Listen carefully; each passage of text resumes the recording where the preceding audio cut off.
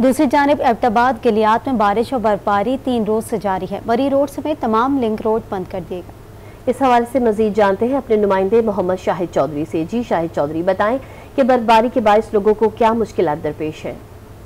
जी बिल्कुल। एटाबाद में बारिश जबकि पहाड़ी इलाकों नच्छा गई ठंडियानी डोंगा गली यूबिया में बर्फबारी का तीसरा रोज़ जारी है। आज एटाबाद शहर में सूरज और बादलों की आँख मचोली का सिलसिला भी जारी है। बात करूँ गलियात के तो गलियात के तमाम इलाकों में बर्फबारी के बाद जो है, जो दही रोड है, लिंक रोड है, वो ब्लाक है मेन मरी रोड जो है, वो भी ब्लाक है। और उस गलियात में तीन रोज़ से बिजली भी बर्फबारी के बाद जो है, वो बंद हो चुकी है।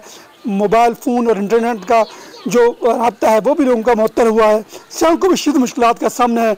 कुंडला के मकाम पर सात जगह पर जो बर्फानी तोदे गिरे थे, वो जी डी ए के हुकाम ने हटा दिए हैं, लेकिन मरी रोड को खोलने के लिए अभी भी काम जारी है, जबकि लिंक रोड में लोग जो है, सैकड़ों की तादाद में देहात जो है, देहातों के लोग जो है, वो अपने घरों में मशहूर होकर रह गए हैं। इसी तरह सर्कल बकोट की बात करें तो बकोट रोड जो है, वो बंद हो चुका है। सर्कल बकोट के लोग भी है, उनका भी रबता एबटाबाद से कटा हुआ है।